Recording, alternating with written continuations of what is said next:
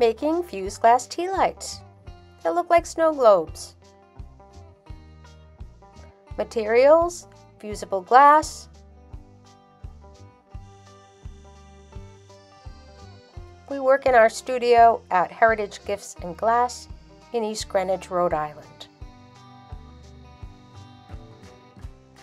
Here's the class putting their scrap pieces together on the 4 inch circle clear.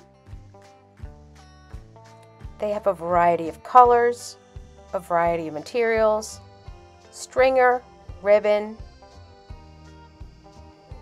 glass dots, and they put it all together with clear glue.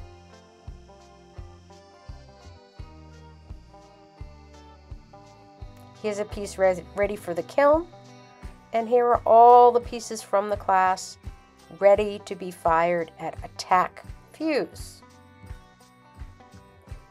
So many different designs and complete, ready to be picked up. Names on the front tea lights on the back, ready to be picked up by their creative owner.